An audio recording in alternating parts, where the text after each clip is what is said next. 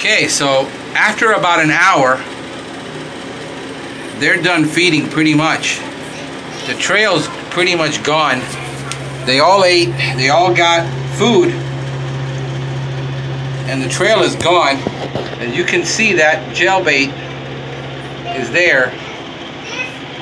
They're still going back in here. See if I can See, they're, they're in that nest. The station that we put, there's one straggler. This is how quick feeding is.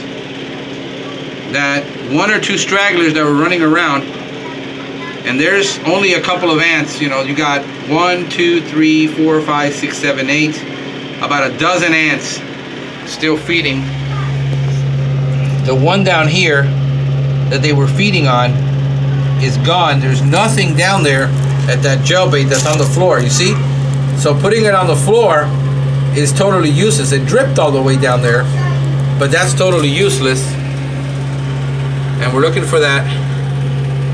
Remember that nest that I saw? Please, please, Papi, stop talking. Okay, shh. Papito, I need you to go outside.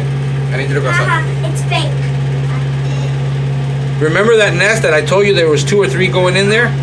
Well, there you go. That that's probably a, a fragmented nest, and there's another one going, and there he went inside. So there's a nest behind that wall somewhere, probably linked to that one. I'm sure it's a budded nest. It's a fragmented nest, and there they are feeding on that bait. And there's nothing more in this bathroom. So, trying to see they are going back and forth in there, but they're done feeding. So they most likely, there he is, he went into that little hole. You can see they're going to many holes.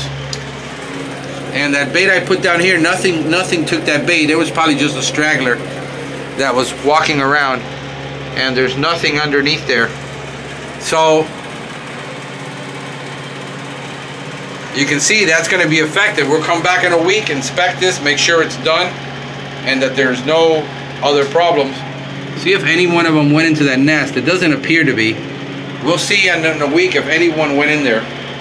But the most effective thing is to bait the trail.